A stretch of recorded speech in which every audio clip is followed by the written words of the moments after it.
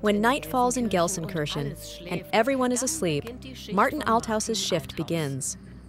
Are the animals well? Is everyone in their place? Is there anyone at the zoo who doesn't belong here? Are gates and doors securely locked? Martin Althaus sets off, senses sharpened. You never really know if someone is here or not. And you have to be absolutely aware of that as you walk through. Someone could be anywhere. So, you listen carefully to what's happening around you, because you can hear very well. Is someone walking around? You'll definitely notice. The first stop is always the social station. During the day, it's a gathering place for the animal keepers. At night, it's completely deserted. All right, let's take a look here. This is our handover book, as I like to call it. The issue, of course, is that I don't see the animal keepers and they don't see me. Though no one has written anything in for me, which means everything's okay. No special incidents to report. I've made my mark, and now I can start with my rounds. Let's turn on your light first. The red light is meant to prepare the zoo animals. Attention, someone is coming. Watchman and his dog. They have over 30 hectares of grounds ahead of them. Alaska, Africa, and Asia in miniature. All in one night. The first stop is the Sea Lion House. Hey, little one. Are you alone? All by yourself? Seems to be the case. All right, go to sleep then. Goodbye.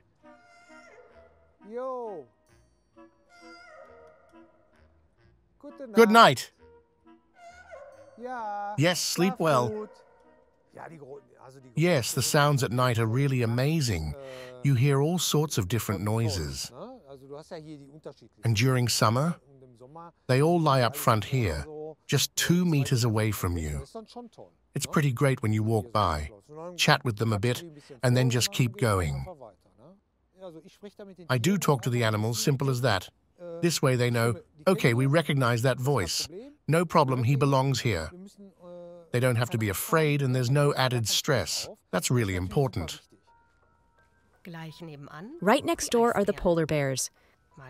Let's see how Antonia, Bill, and Lara are doing. No rest even at night, the bear must be thinking. Obviously, he doesn't feel like being lit up with a flashlight in the middle of the night. I mean, who would? When I'm in bed, I want to sleep too, and I don't need that light.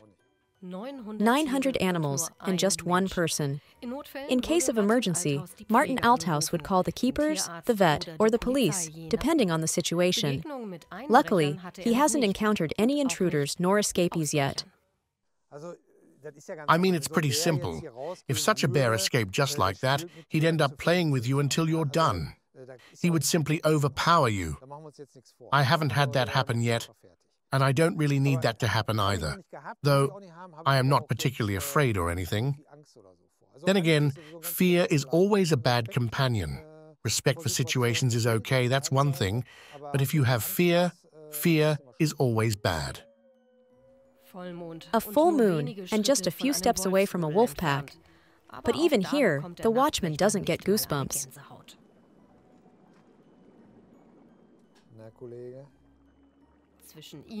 The barrier between him and the predators is not just a fence, but also a water moat. What you hear over there is intentional. It's our so called ice prevention system. This moat is there to keep the wolves from getting off the enclosure. And with these temperatures, there's a risk it would freeze over if the waters were still. This way, the pack stays at a safe distance.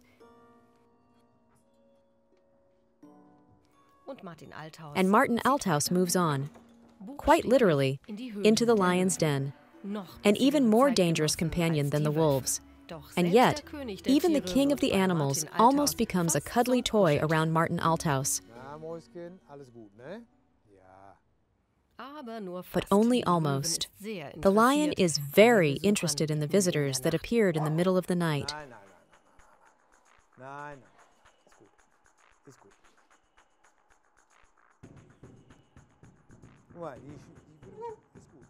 Hey, hey, easy there. He just wants to play with you.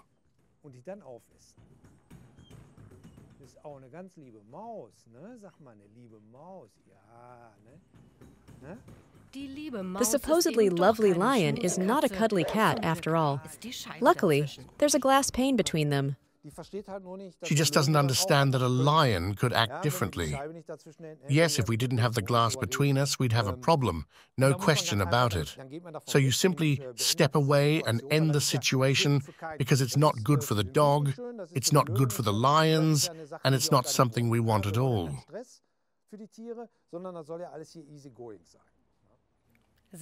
For two years, Martin Althaus has been doing this job. Two years alone in the zoo at night. Well, not completely alone. Many, many wild and tired animals. I mean, you choose this kind of work. I'm just not made for the factory. I need my peace and quiet. I don't need anyone talking to me constantly. It's nice to be able to walk around here at night and just have my tranquility. His wife has no problem with his work. She also works at the zoo as an animal keeper. Martin Althaus has a special relationship with some of the animals, too. This one right here, he finds really cool. And there's Helmut lying up front. Helmut is the big one over there. You can tell by his size that he's quite a hefty fellow. Helmut weighs around 100 kilos. Two years ago, he could no longer support his own weight. The tortoise ended up with shoulder problems. And then someone from a company that builds orthotics offered their help. Helmut was fitted with one, and he did exercises because he couldn't walk properly. And now everything is back to normal. At the end of their shift, Martin Althaus and Tom have covered 16 kilometers, crisscrossing through the zoo. When the night ends and humans and animals wake up again, these two finally get to call it a day.